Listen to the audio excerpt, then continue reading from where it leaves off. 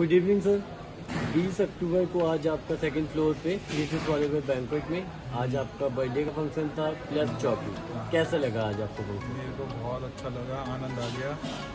आपकी सर्विस अच्छी थी बाकायदा खाना अच्छा था आपका और बाकी जो आपने जो सर्विस दी है आपकी कैटरिंग वगैरह और खाने की बहुत अच्छा लगा। मुझे बहुत मज़ा आया। हमारे सारे गेस्ट थे जितने भी थे सबने तारीफ़ करी। ए टू जेड बंदा बोल के गया इन फ्यूचर कोई फैमिली में फ़ंक्शन डेफिनेटली हमारे फैमिली में काफ़ी फ़ंक्शन होने वाले हैं अभी, क्योंकि अभी तो हमारी साइड की शुरुआत है बच्चों की, शादी की। तो हम डेफिनेटली मैं तो हमारा तो एक्चुअली में ना, यहाँ पे ऑलरेडी बुक है।